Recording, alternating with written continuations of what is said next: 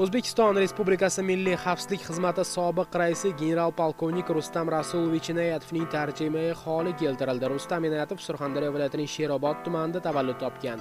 Otasi rasul inoyatov kgb polkovniki bir ming to'qqiz yuz oltmish beshinchi yildan bir ming to'qqiz yuz oltmish yettinchi yilga qadar toshkent qurilish trestida betonchi bo'lib ishlagan shu bilan birga universitetda ta'lim olgan. bir ming to'qqiz yuz oltmish sakkizinchi yilda toshkent davlat universitetining eron filologiyasi fakultetini tamomlagan.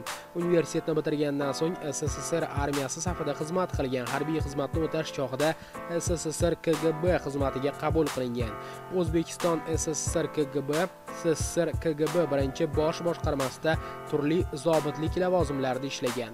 bir ming to'qqiz yuz yetmish olti bir ming to'qqiz yuz sakson birinchi yillarda afg'onistonda diplomatik himoya ostida rezidentura xodimi.